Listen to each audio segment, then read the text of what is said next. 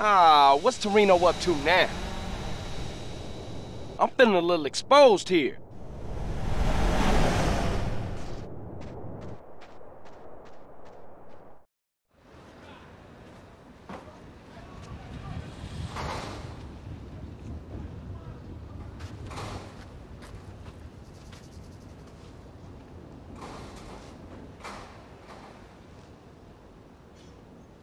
What's your take on this? Damn!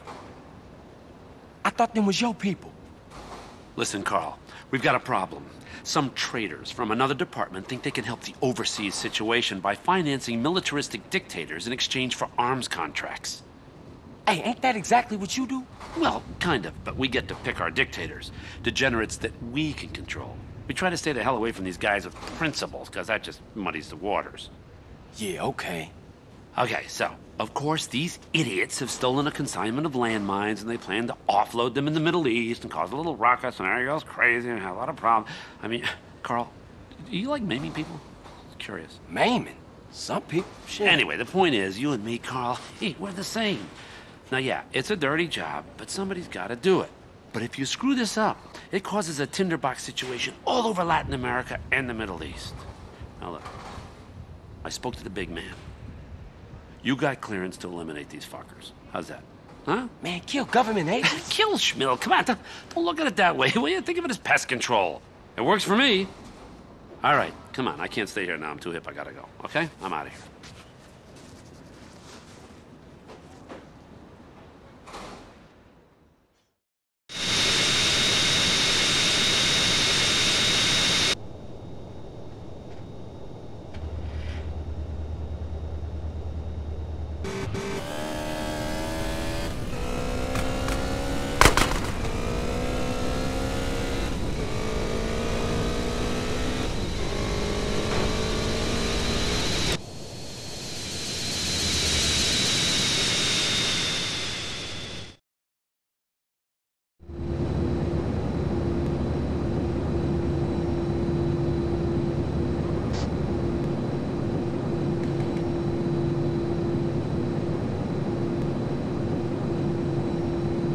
Great Dickler. No problem.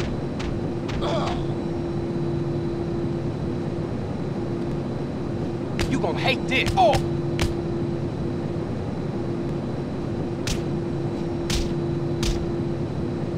Oh, you think you tough?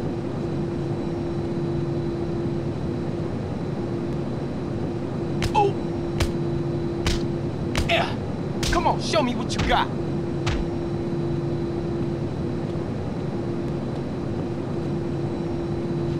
This doesn't concern you. Sorry, my... Ow. Ow! Uh. Ah. Ah. Should back down and run away.